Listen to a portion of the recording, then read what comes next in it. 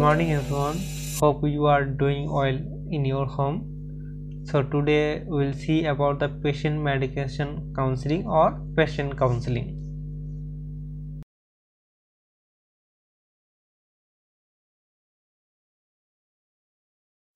So in this slide we'll see the definition so patient counseling refer to the process of provide file information, advice and assistance to help with your medication to ensure you take them properly. So patient counseling basically counseling the patient about their medicine, about their side effect, about their health consciousness. This also includes the important information about the patient illness and lifestyle. So you have to give information about their current disease and whatever the lifestyle, uh, lifestyle modification needed for improve the current situation or current disease treatment.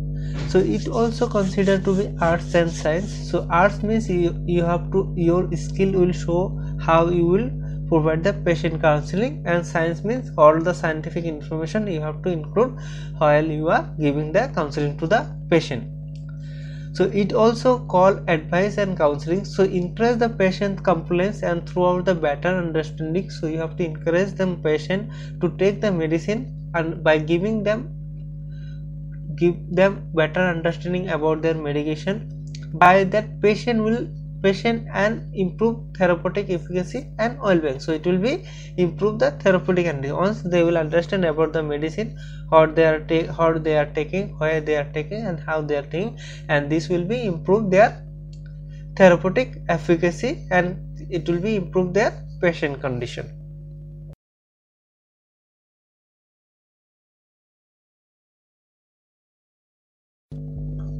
so here we'll see goal of the patient counseling. So basically goal of the patient counseling is to provide information direct at to encouraging safe and appropriate use of medication thereby enhancing therapeutic outcome. So if you give the direct information to patient and then patient will be understand and encourage about how to use and about to use your medication and this will be enhance the therapeutic outcome. Once they will understand about the therapy it will be enhance the therapeutic outcome.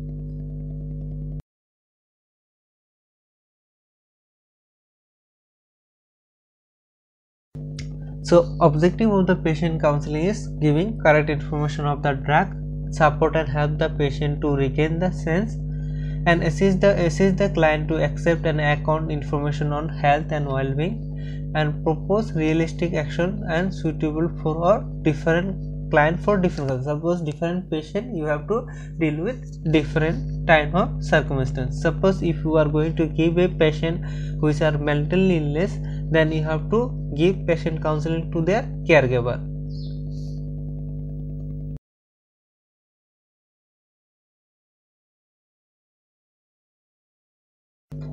Another objective include enhance the self-confidence and improve family communication relation and quality of lives and maximum of therapeutic efficacy and safety of the drug. So you have to give them how much maximum dose can be taken and what are the safety precautions they have to take it while they are taking the medication.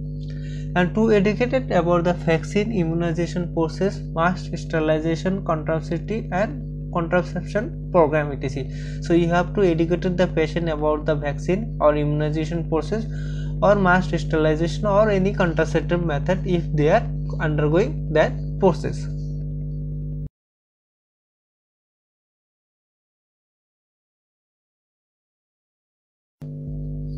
So here we will see the aim of patient counseling. So what will be the aim? So aim of patient counseling including better understand of their illness role of medicine in its treatment. So it also improve the medical adherence. More effective use of drug treatment decrease incident of ADR or unnecessary health care it will be improve the quality of life and better coping strategy to deal with medication related ad adverse effect. If any side effect was happen in medicine then will be help this patient counselor to outcome it and improve professional rapport between patient and pharmacist. So it will be improve the rapport between the patient and pharmacist. As pharmacist is the most person eligible person to give patient counseling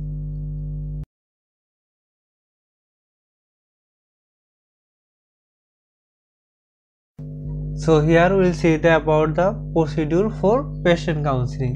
So first you have to categorize the patient. Patient with serious or unstable disease. Whether patient is receiving specific medication like therapeutic index. Whether the patient is treated with complex drug regimen. Or a patient whose established medication have been altered elderly or pediatric patient or patient identified as non-intentional non-compliance or patient with language or reading difficulty. So you have to categorize the patient. What type of patient? In this category you have to select which category flow the patient.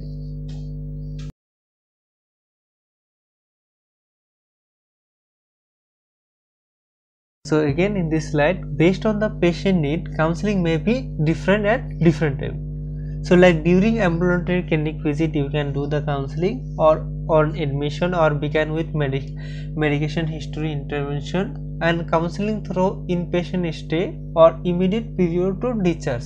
So in this three time of different time you can do the counseling. Whether if they are during the ambulatory clinic visit or admission or counseling through inpatient stay or after discharge also you can do the patient counseling so ensure privacy and minimize the risks of intervention. So you have to ensure the privacy of the patient and you should not share the details about the patient with any other patient or staff. So mode of presentation depend on the patient need the person being consult and time of the counseling. So the mode of presentation whether you are going to farewell or written or audio visual mode that all depend on the person need and as well as time of counseling. So how long you have to do the counseling and how much available that the patient based on that you have to design your patient counseling module.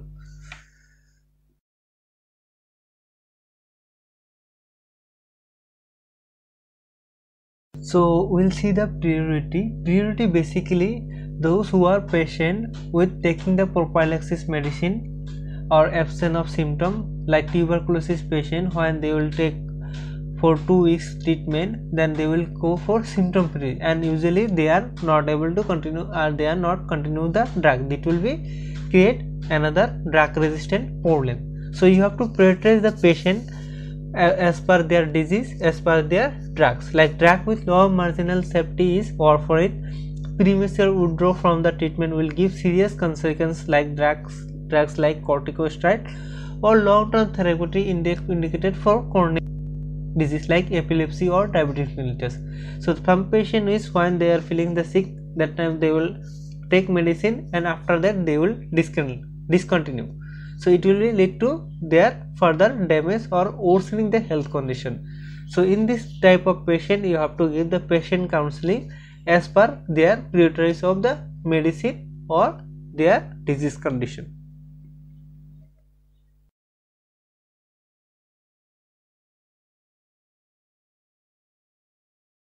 So form of patient counseling usually can be give verbal counseling, printed counseling, warning card, individual medication sheet, leaflet or booklet or pamphlet or patient package insert by a pharmaceutical company or inpatient medication training program. So you can give three form whether you can give for verbal form, printed form or you can enroll the patient in a certain kind of training program.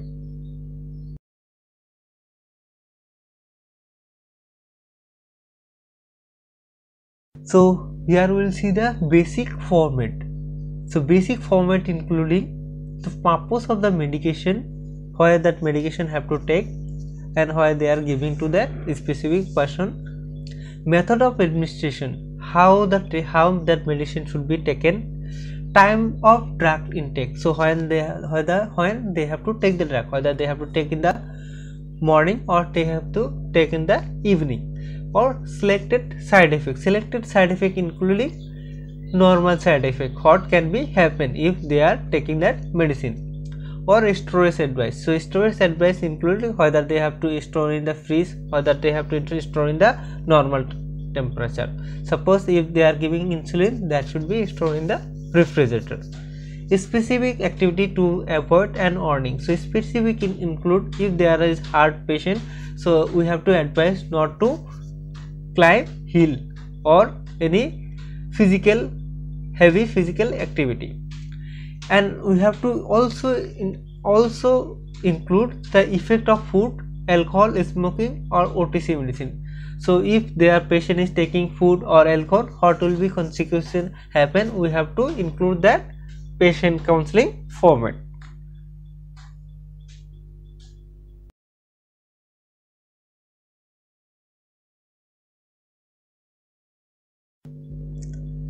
So step 1 here we will see the step about the patient counseling. So step 1 will be introduce yourself. So you have to introduce yourself in friend, friendly approach. You have to say your name, your designation and your purpose for counseling.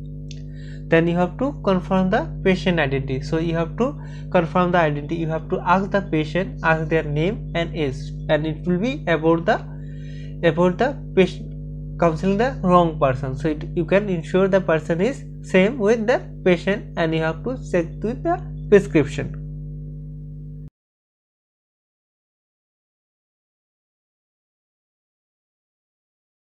So third info third procedure for patient counseling is collect the background information.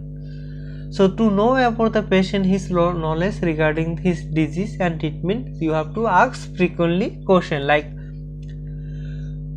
what is your education qualification marital family history like this basic question you can ask him and you can ask about his disease. How long you are suffering whether you are taking any alcohol or smoking or whether how long you are medicine so how specific your disease what do you know about your disease? Like this basic question you can ask to collect the background information. And you have to give the medication continue knowledge about the disease and what doctor tell about the medicine. You can ask what is the doctor tell about your medicine and your disease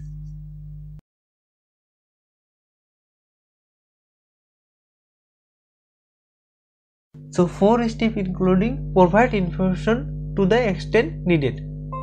So you have to characterize the disease and epidemiology and reason for the they are suffering and you have to explain to them and medication you have to explain about the medication purpose of medication normally daily dose and when to take remarkable ADR and you have asked to avoid self medication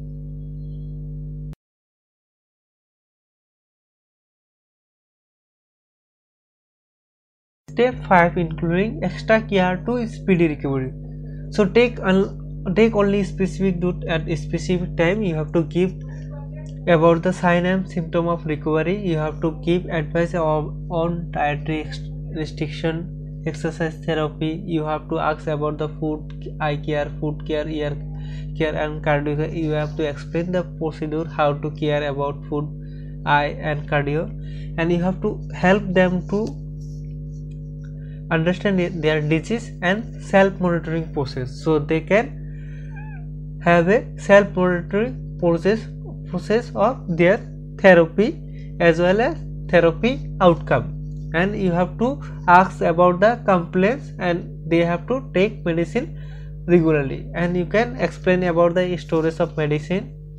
And if you can ask consult asks about the consultation of doctor if their reaction is occur. So you have to explain about the ADR and if ADR or anything adverse effect happen then you have to ask them to consult with the doctor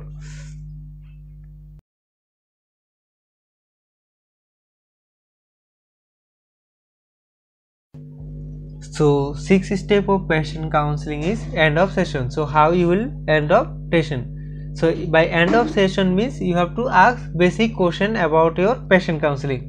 Whether they are satisfied our patient counseling not or have you any question in your mind which you want to ask? And you have to ask to patient to visit the hospital or doctor regularly and ensure the good health. And in and last you can wish for speedy recovery and you can add your contact number and place where you are available in that patient counseling sheet. And you can provide to the patient sheet on the patient on, on counseling sheet to the patient and you can record on patient details record in your record books.